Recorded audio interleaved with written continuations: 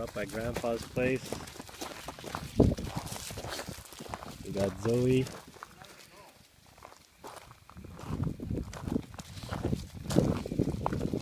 Getting used to her new surroundings. Not to the street, Tyus.